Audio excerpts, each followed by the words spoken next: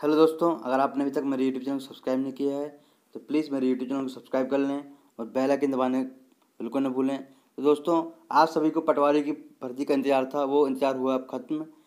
पटवारी की परीक्षा का जो नोटिफिकेशन जो है, वो एम द्वारा डाल दिया गया है, आप जाके चाहे तो ऑफिशियल वेबसाइट में जाके दे सकते हैं। तो यहाँ पे जो है, आवेदन पत्र की भरने की प्रारंभ तिथि है, वो है पाँच तारीख, पहला महीना, दो हज़ार तेईस और आवेदन पत्र भरने की अंतिम तिथि है उन्नीस तारीख, एक महीना, दो हज़ार तेईस। हम परीक्षा शुल्क की बात करें यहाँ तो अनारक्षित अभ्यर्थियों के लिए पाँच सौ रुपये और S T S C O B C विद्यार्थियों के लिए दो सौ पचास रुपये। हम परीक्षा की दिनांक की बात करें तो यहाँ पे परीक्षा की दिनांक आप देख सकते हैं, पंद्रह तारीख, तीसरा महीना दो हज़ार तेईस से यहाँ पे प्रारंभ होगी। ये दो पालियों में प्रारंभ होगी, एक सुबह सात से आठ और द्वितीय जो है साढ़े बारह से डेढ़ बजे तक। जैसे कि आप यहाँ पे देख सकते हैं, पटवारी की कुल भर्ती जो है दो हज़ार सात सौ छत्तीस वैकेंसी यहाँ पे निकली हुई हैं। यहाँ पे आप देख सकते हैं कि अनरक्षित के लिए यहाँ पे पूरा डिवाइड है, महिला के लिए क्या है, ओपन के लिए सारे यहाँ पे निकली हुई हैं। अनरक्षित के लिए जो है, आप देख सकते हैं यहाँ पे चार सौ सत्तासी है। और महिला के लिए यहाँ पे दो सौ बीस, फिर यहाँ पे भूतपूर्व सैनिक कुमार दे सकते हैं सिक्सटी सेवन महिला के लिए सत्रह। तो इसका हम अच्छे से आकलन यहाँ पे करेंगे। यहाँ पे आप देख सकते हैं ग्वालर के लिए यहाँ पे सत्रह पद खाली हैं।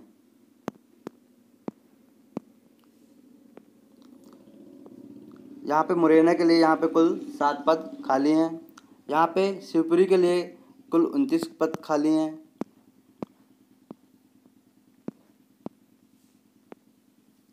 यहाँ पे आप देख सकते हैं पोस्ट कोड यहाँ पे गुना के लिए। कुल तैंतीस पौधे यहाँ पे, पद हैं यहाँ पे। पटवारी अशोकनगर के लिए आप देख सकते हैं यहाँ पे छब्बीस पद हैं। दतिया के लिए कुल तीन पद हैं यहाँ पे। उज्जैन के लिए आप देख सकते हैं यहाँ पे तेईस पद निर्धारित किए गए हैं।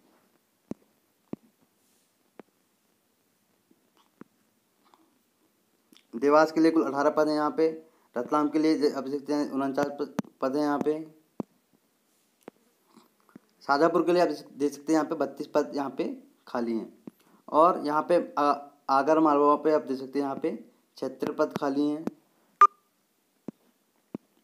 मंदसौर के लिए यहाँ पे देख सकते हैं आप पचहत्तर पद खाली हैं और नीमच के लिए यहाँ पे अंठावन पद खाली हैं। इंदौर के लिए यहाँ पे देख सकते हैं बारह पद खाली हैं और पटवारी धार के लिए यहाँ पर देख सकते हैं एक सौ चार। एक सौ चार यहाँ पर पद खाली हैं।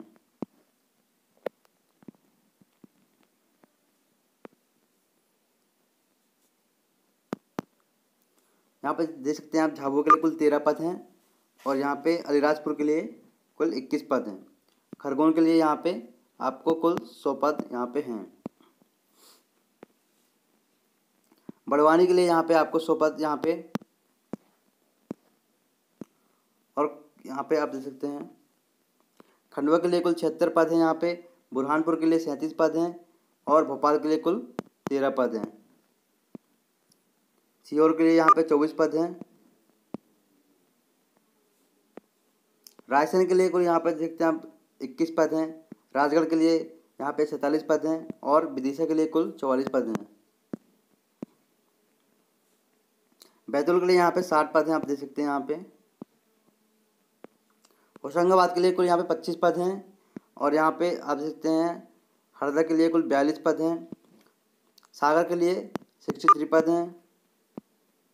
दमोह के लिए सत्ताईस पद हैं यहाँ पे। और पन्ना के लिए इक्यावन पद हैं और छतरपुर के लिए संतावन पद हैं। टीकमगढ़ के लिए तिरपन पद हैं। निवाड़ी के लिए बीस पद हैं यहाँ पे। जबलपुर के लिए कुल पच्चीस पद हैं। और कटनी के लिए चौंतीस और नरसिंहपुर के लिए कुल इक्कीस पद हैं यहाँ पे। छिंदवाड़ा के लिए यहाँ सबसे ज़्यादा पद दिखे जा रहे हैं, यहाँ पे एक सौ अड़तालीस पद यहाँ छिंदवाड़ा के लिए हैं। सिवनी के लिए एक सौ सत्ताईस पद हैं यहाँ पे। मंडला के लिए बावन पद हैं यहाँ पे।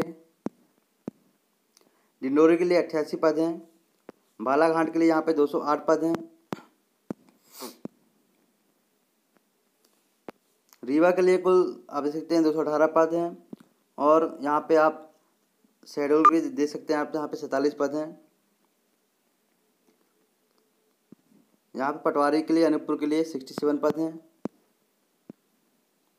उमरिया के लिए यहाँ पे इक्यावन पद हैं। सीधी के लिए यहाँ पे छप्पन पद हैं, और सिंगरौली के लिए यहाँ पे सेवेंटी नाइन पद हैं। सतना के लिए फिफ्टी नाइन पद हैं यहाँ पे। हम इसकी आहारता की बात करें तो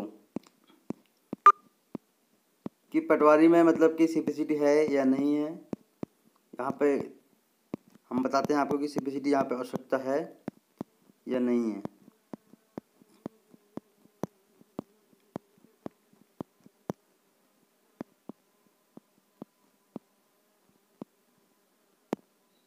पटवारी चयन हेतु कुछ यहाँ पे आप देख सकते हैं। यहाँ पे मैन जो है सीबीसीटी है या नहीं है मैन उसका है। तो आप देख सकते हैं यहाँ पे। इसका वेतनमान जो है, आप देख सकते हैं यहाँ पे पाँच हज़ार, बीस हज़ार प्लस इक्कीस सौ ग्रेड पे। आहारताएँ की हम बात करें तो किसी भी मान्यता प्राप्त विश्वविद्यालय से स्नातक की उपाधि और पटवारी चयन परीक्षा हेतु C C score card Hindi typing एवं कंप्यूटर दक्षता सहित उत्तीर्ण होना अनिवार्य है। तथापि सी परीक्षा उत्तीर्ण न होने पर चयनित अभ्यर्थियों को सी की परीक्षा नियुक्ति के पश्चात परीक्षा अवधि तीन वर्ष के अंदर उत्तीर्ण करना अनिवार्य होगा। अन्यथा नियुक्ति नष्ट कर दी जाएगी। तो दोस्तों, बिना सीपीसीटी के भी आप यहाँ पे एग्ज़ाम दे सकते हैं।